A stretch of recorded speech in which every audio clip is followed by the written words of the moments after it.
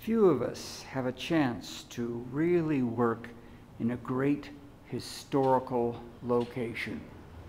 This building is over 400 years old. It was a great monastery in Mexico City's historical center.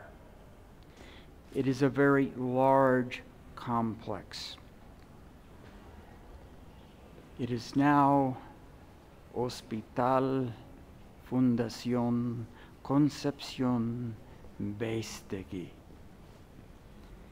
And it has a geriatric hospital of over 100 beds and a daycare center for other elders in the community. It is an extremely beautiful and peaceful, spacious area.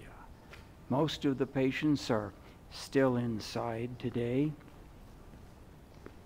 But this particular area is also used for various events.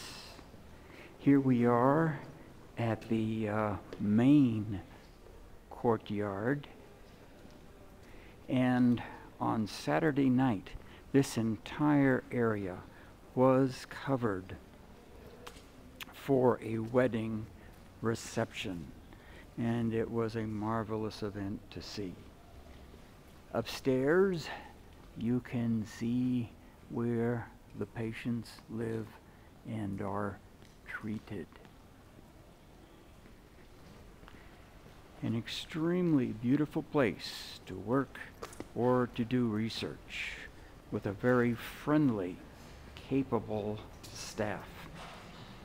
Here we are leaving this building and entering a great alleyway of the historical center, La Regina, where we see things very active. A regular park where people go on bicycles, various clothing stores, bars, and nightclubs are active, opening up later on. Here we see the front of this great historic building, Hospital Beistegui.